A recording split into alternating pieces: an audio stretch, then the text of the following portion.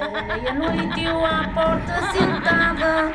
Era meia-noite eu à porta sentada. Todos dormiam, só eu acordada.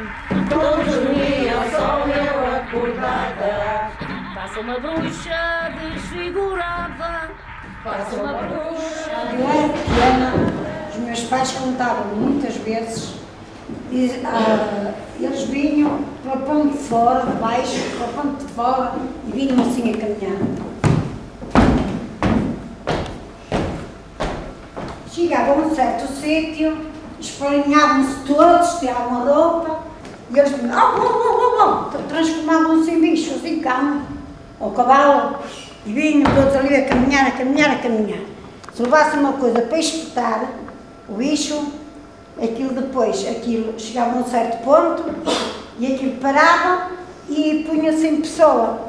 E aquilo vinha sempre, sempre, e quem tivesse essa sorte, a, a pessoa que estava transformada em cavalo, ficava em pessoa, não é? E depois agradeciam iam, e ficava, depois iam-se vestir e ficava, ficava boa, salvava-se. Dizem para aí que há bruxas, Dizem para aí.